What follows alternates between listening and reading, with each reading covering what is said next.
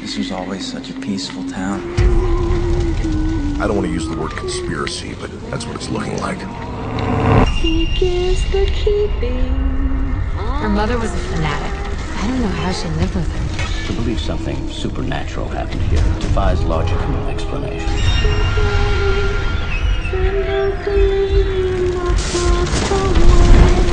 One seems to understand. She wasn't some monster. She was just a girl.